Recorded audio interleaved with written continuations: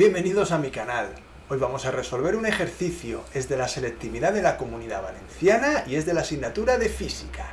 Es el problema 1 y corresponde a la convocatoria de septiembre de 2020. Toma lápiz y papel y trabaja tomando apuntes como si estuvieras en una clase presencial. No seas un alumno pasivo como el espectador de una película, sino un alumno activo. Y recuerda, antes de que comencemos a resolver el problema, que puedes suscribirte al canal y activar la campanita para seguir recibiendo más vídeos como este. Y desde ya mismo te agradecería que me dejaras un like, así me animarás a seguir creando más contenido como este. El enunciado del ejercicio dice lo siguiente, el proyecto Starlink ha colocado en órbita circular alrededor de la Tierra unos 300 satélites para comunicaciones, que son fácilmente visibles desde la superficie de la Tierra. Sabiendo que la velocidad de uno de dichos satélites es 7,6 km por segundo, apartado A, calcula la altura h a la que se encuentra desde la superficie terrestre, en kilómetros. Apartado B, ¿cuántas órbitas circulares completas describe el satélite en un día? Vamos a resolver el ejercicio. Ahí tenéis unos datos que nos harán falta y vamos a ello.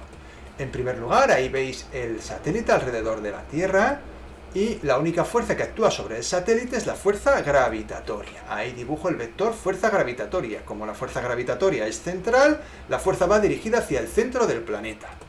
Por otro lado, coloco en el dibujo el radio orbital, que siempre se toma desde el centro del planeta a la órbita. No es lo mismo el radio orbital que la altura a la que se encuentra el satélite, como vamos a ver ahora. Puesto que el movimiento del satélite es circular uniforme, según el segundo principio de la dinámica de Newton, podemos escribir que la fuerza gravitatoria es igual a masa por aceleración centrípeta, que es la que hay en un movimiento circular uniforme.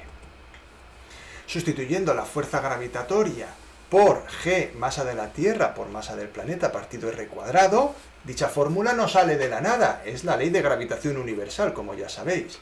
Igual a masa por velocidad al cuadrado partido r, también debéis saber que la aceleración centrípeta es v cuadrado partido r, simplificamos la masa del satélite y obtenemos esa expresión de velocidad al cuadrado igual a g por masa de la Tierra partido el radio orbital.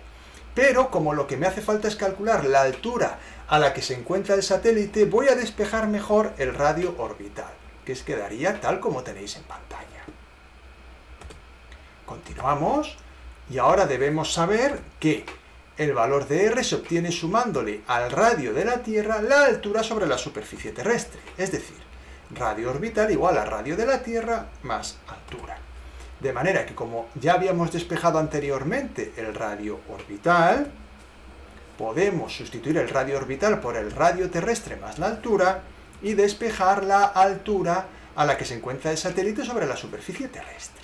Y ya tenemos este primer apartado prácticamente resuelto.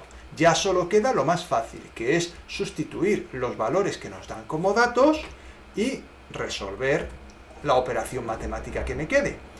Tened en cuenta que como la velocidad nos la dan en kilómetros por segundo, debemos expresarla en metros por segundo.